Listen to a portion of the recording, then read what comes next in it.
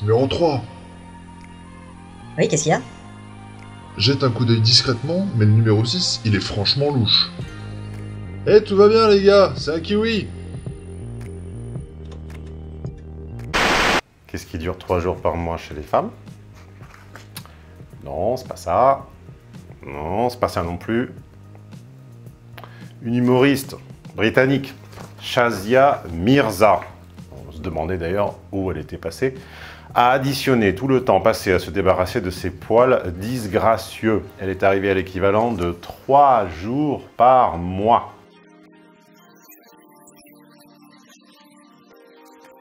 à une époque où le marketing se fait le chantre de la diversité des corps, pigmentation de la peau, euh, poids, âge, handicap physique et désormais même mentaux. Il est curieux de constater que l'ensemble de ces diversités respecte une commune frontière tacite, celle de la pilosité, que ce soit dans les images de la publicité, la mode, la presse féminine, le cinéma pornographique comme traditionnel. La femme contemporaine est systématiquement épilée dans la région du pubis, et ne parlons même pas de celle des aisselles. L'homme même commence à être touché à son tour par cette curieuse maladie. Les sexes féminins foisonnants des années 70 c'est fini, petit à petit, décennie après décennie, les aines, du, nom commun féminin N, laine, se sont désertifiés, tronquant les lisières de ce que Freud appelait le continent noir, jusqu'à obtenir une forme géométrique parfaite. Bon, c'est un abus de langage, parce qu'en fait, ce que Freud appelait le continent noir, c'est pas la touche, c'est la femme. Mais passons, ça sonnait mieux ainsi.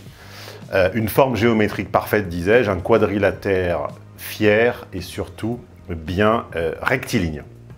On a désormais coutume de surnommer ce tsunami dépilatoire la mode du ticket de métro, avec une tendresse dans laquelle je décèle tout de même une légère euh, insincérité. Confronter une femme à la vue d'une vue, c'est pas facile à dire ça, comme dirait Laurent Gérard imitant Dominique Besnéard, c'est pas facile à dire confronter une femme à la vue d'une vulve, à la vue d'une vulve non épilée, comme par exemple la célébrissime Origine du monde de Gustave Courbet, c'est l'assurance de la mettre en, non pas en PLS, en dissonance cognitive. Bon, en PLS aussi, si vous voulez. Elle ne se reconnaît pas dans le dessin qui en est fait, enfin dans le tableau, dans la peinture qui en est faite. Elle ignore même souvent si son propre corps est équipé d'un tel potentiel pileux. Interrogez-la sur ce qu'elle pense d'une telle perspective la concernant, elle refusera catégoriquement de songer aux conséquences d'une possible réimplantation des poils pubiens dans sa petite culotte. Alors comme souvent, pour quiconque cherche à, comprendre l'humain, il est utopique de s'enquérir de leur motivation auprès des individus eux-mêmes, et ce pour deux raisons principales, ce qui m'amène à une brève parenthèse sociologique. Un, parce que les préférences ne sont pas des données objectives figées à l'avance qui permettraient de prédire avec une grande certitude les choix individuels. Les préférences, c'est réécrit sans cesse dans un processus continu, créant ainsi un système pensant asservi, où les préférences évoluent au cours du temps pour justifier et rationaliser les choix individuels, surtout les plus récents. Deuxième rappel sociologique, les femmes sont friandes et douées de cette forme d'apprentissage qu'on appelle le mimétisme, ce qui les rend d'ailleurs plus promptes que quiconque à s'emparer d'une tendance, d'une mode, sans y opposer aucune, résistance, faisant ainsi, comme le dirait mieux que moi euh, Alessandro Barrico, faisant ainsi du changement même une vertu en soi. C'est pas le sujet, je vous ai promis depuis des lustres cette fiche de lecture. Elle arrive, elle est rédigée à 70-80%. Dans ces conditions, et les intéressés étant trop occupés à se faire rectifier l'épiderme au papier abrasif pour s'interroger sur les motivations à l'origine de leur torture volontaire, il faut bien que quelqu'un réfléchisse à leur place. Alors, coup de peau, bon bah je suis là, j'avais 5 minutes, euh, je vais essayer de réfléchir. Voici les motifs à la, propagation incontrôlée et incontrôlable de l'épilation intégrale. Et à côté de ces motifs communément avancés, je ne les ai pas tous inventés, je me suis documenté, je les ai, regroupés, j'ai fait un travail de, de, concaténation.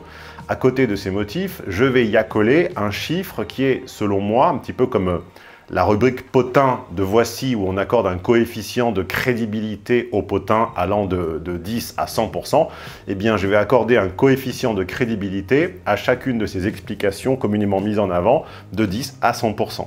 Donc, la première de ces raisons mises en avant, elle nous, vient de la euh, journaliste féministe pléonasme donc à défaut de connaître les écrits, vous connaissez peut-être au moins le nom, une certaine Maya, en tout cas elle se fait appeler Maya M, hein, double, double M, Maya Mazoret, elle publie euh, notamment dans GQ, je crois, et, quelques autres.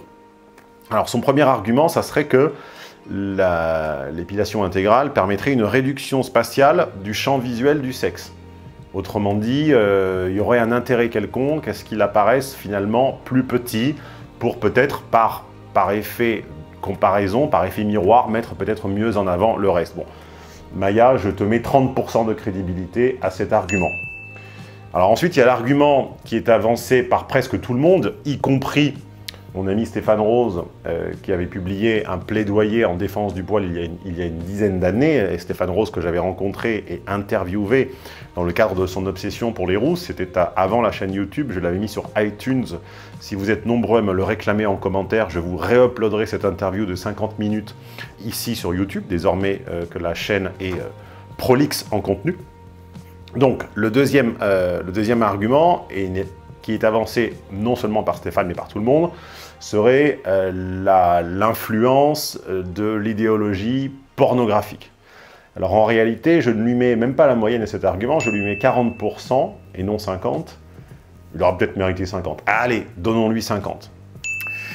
Et je ne lui mets qu'une petite moyenne, car en réalité, euh, c'est un petit peu une tautologie. C'est-à-dire que si il y a eu propagation par un certain nombre de canaux et de vecteurs culturels avec comme source la pornographie et qui aurait comme ça ruisselé, qui aurait diffusé dans la pop culture, dans les clips de rap et autres, et qui aurait finalement engendré par ruissellement des nouveaux codes esthétiques, personne ne nous explique pourquoi ces codes se sont implantés à une époque donnée dans la pornographie.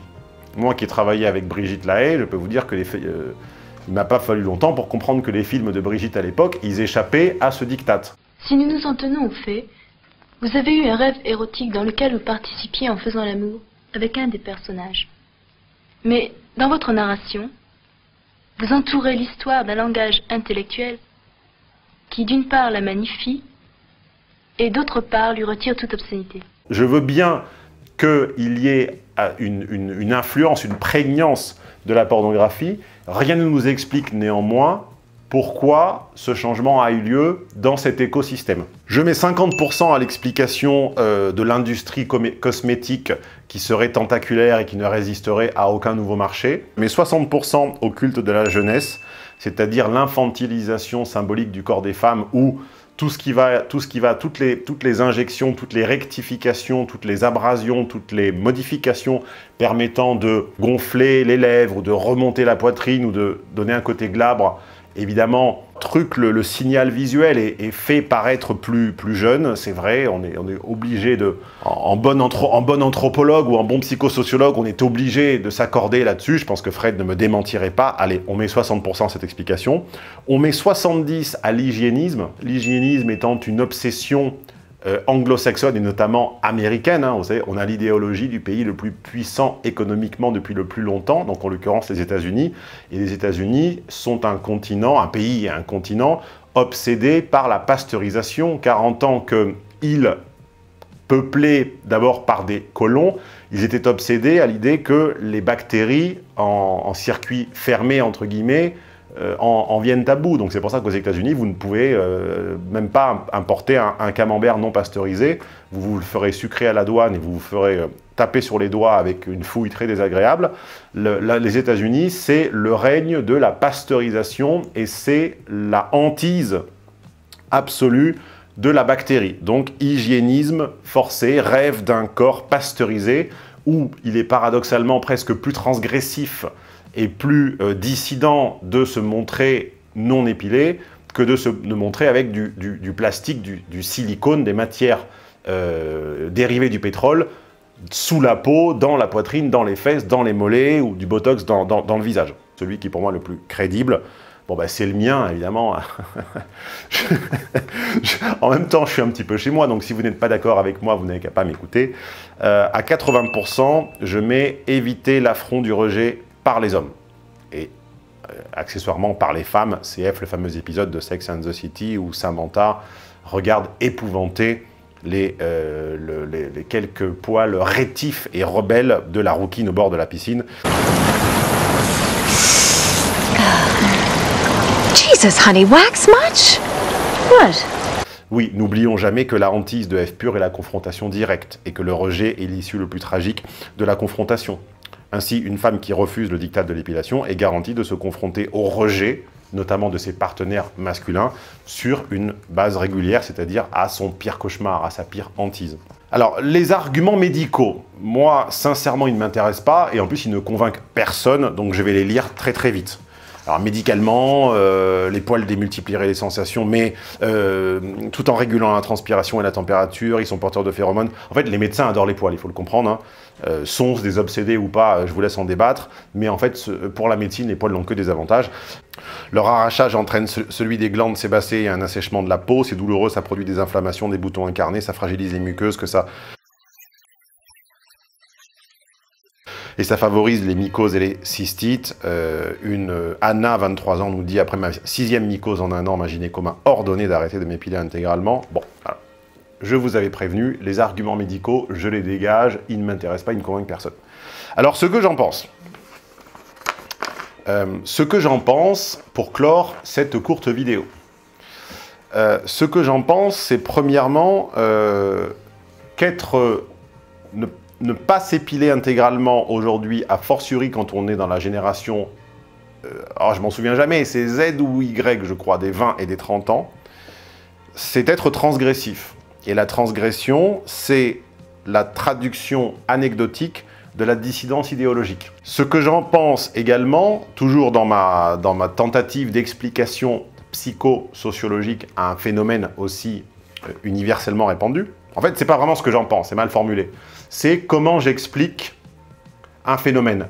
Comme je, comme je dis d'habitude, comme je l'ai déjà d'ailleurs euh, dit explicitement dans une vidéo qui a été peu comprise et qui concernait la, désirabilité des femmes africaines, j'ai dit c'est pas mon goût perso, c'est pas mon avis, on s'en cogne de mon avis, on s'en cogne de mon goût perso. J'ai dit c'est une, une explication, c'est un, un socle, c'est un arrière-plan sociologique à une question que vous vous posez. Deuxièmement, c'est encore une fois psychologiquement, c'est se refabriquer artificiellement des périodes d'indisponibilité, puisque les premiers jours de repousse rendent F théoriquement inapte à la consommation, parce qu'on a beau jeu de se dire que c'est extrêmement doux quand c'est épilé, oui, sauf que quand ça repousse, évidemment, ça devient euh, le grattoir de, l'éponge de la cuisine.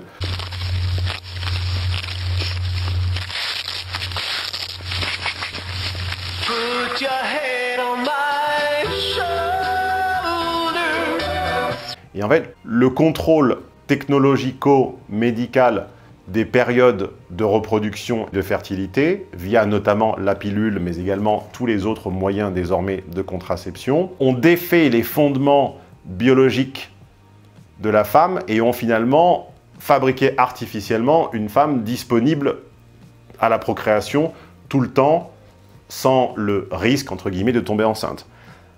Je pense que psychologiquement, il y a quelque chose à comprendre dans cette idée que, euh, que, par l'épilation, on, refabrique artificiellement des périodes de disponibilité et d'indisponibilité. Et troisièmement, et c'est peut-être l'explication à laquelle je crois le plus et celle dont je suis le plus euh, content et le plus fier, c'est que ça dope artificiellement le phénomène de, différenciation sexuée. Pourquoi? Alors je ne vous ai pas fait un, panorama historique, je ne vous ai pas remis euh, en, perspective historique toute la séquence de quand l'épilation a été à la mode ou pas. Pourquoi? Parce que d'abord, je trouve ça un petit peu chiant le chronologique dans des, contenus courts, et en plus c'est trouvable partout. Donc c'était en gros à la mode pendant l'Antiquité gréco-romaine. Ça, ça ne l'a plus été, ou en tout cas on pense que ça ne l'a pas été à peu près jusqu'aux croisades. Aux croisades, les voyages euh, trans-méditerranée, euh, les voyages lointains ont, semble-t-il, un petit peu brouillé la donne et donc elle est revenue à, à petits pas et l'épilation, en fait, a, est, finalement revenue euh, sociétalement comme un phénomène de masse au XXe siècle avec un pic avec une apogée à la fin du XXe, début du XXIe siècle.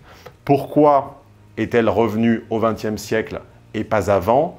Eh bien, selon moi, car c'est le siècle de la postmodernité et du post-énergie euh, des hydrocarbures.